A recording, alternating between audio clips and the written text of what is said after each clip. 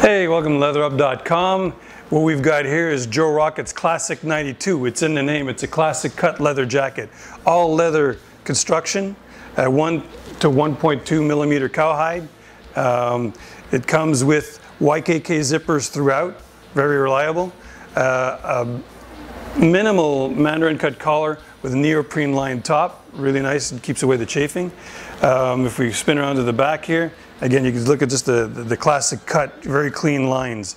Uh, what keeps all of this in place for a nice fit is you've got adjustable sleeves and adjustable waist.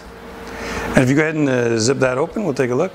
And a two snap adjustable collar by the way.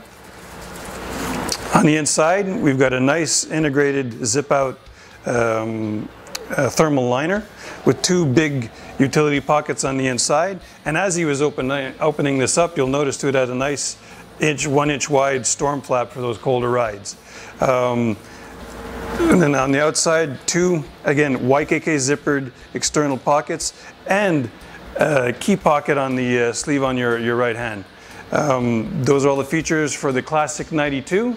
Uh, if you need any, uh, got any questions on sizing or color options, check out leatherup.com.